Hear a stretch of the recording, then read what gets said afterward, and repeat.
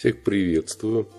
Продолжаем рассматривать работы художников и скульпторов с описанием этих работ по книге «Великие музеи мира» Федерико Кастильон «Возвращение блудного сына», 1933 год, дерево масла 38 на 28. Семья Федерико Кристенции и Мартинеса – это подлинная фамилия художника – эмигрировала в США в 1921 году, где поселилась в Бруклине. Федерико с детства увлекался рисованием, а школой для него стали Нью-Йоркские музеи и галереи.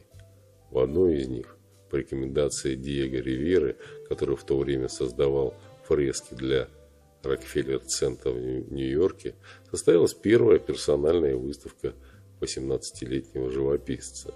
Ривера посодействовал ему и в получении государственной стипендии для учебной поездки в Европу.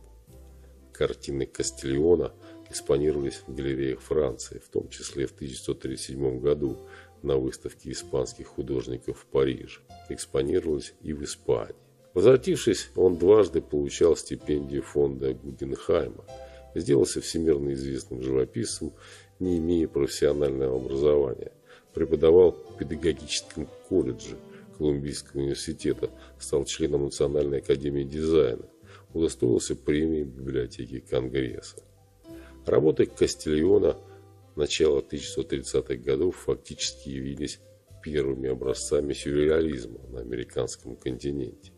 Влияние Дали и де Кирка в представленном произведении обнаруживается тотчас же при взгляде на башнеобразный объект на первом плане, отбрасывающий длинную тень на пустынную площадь.